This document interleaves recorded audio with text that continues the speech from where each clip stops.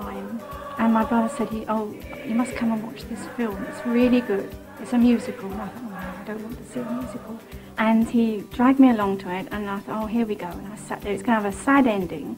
It's not going to be very interesting. I had all this waffling going on. I think it was the first film I ever saw when I was about four or five.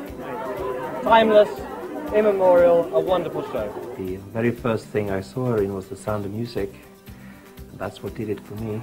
It's the opening scene. It's so magical. First a long thing with just the music playing, and Julie eventually coming towards you, and the music just increases, and then she starts singing.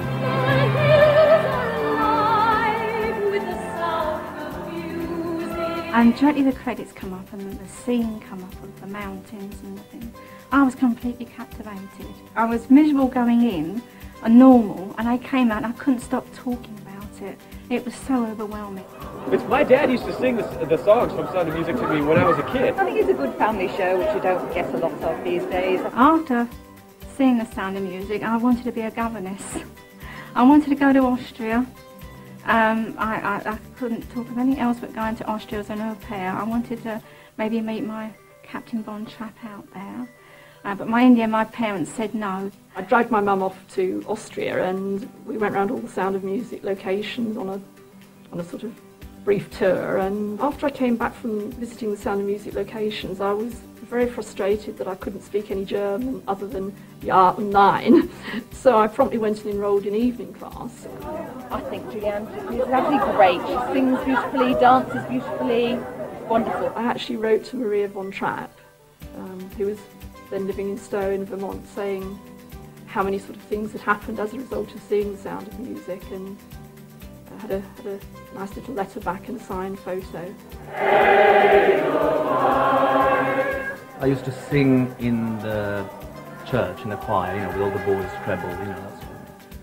And they, the priests, took us to see Mary Poppins, you know, as they, as, you know, I'm sure they do still now. And um, I was fascinated by what I saw, you know, this magic character, you know, this, this amazing, surreal, uh, larger than life, singing with such a beautiful voice. That devastated me, changed my life. Oh gosh, I want to, I want to sing like that. Uh, Julie was doing a show for the Red Cross in Norway, and I, as soon as I saw that in the papers, I said, I'm going.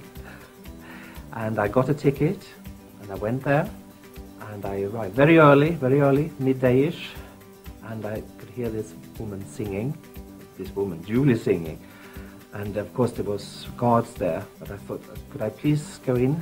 Yes, all right, they let me through. And then I saw her, the whole rehearsal of it, and that was amazing. After that, I've just been trying to, in a way, repay her by um, spreading the word. Once a Julie fan, always a Julie fan. I managed to get an invitation to see Relative Values last year and go to the uh, um, post party afterwards. And that's where I met Julie Andrews for the first time, and it was magical. I just thanked her for all the films that she made and all the music that she's made and given so much pleasure, and that it helped me through an illness. And she just turned around and said, Well, keep on fighting and don't give up. I was 10 years old and uh, I was supposed to be singing. I, I was a soloist in, in, in, church, in the church choir.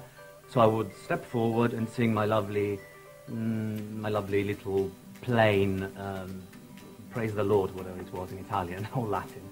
And I decided to add that little twist, you know, that little Mary Poppins cadenza.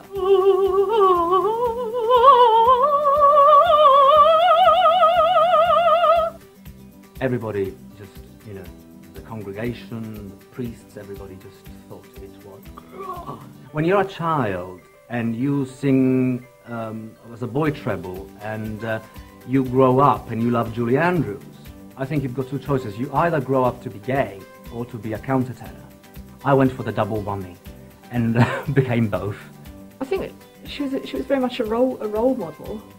Um, I admired her professionalism, the way that she gives you know 100% to everything she does.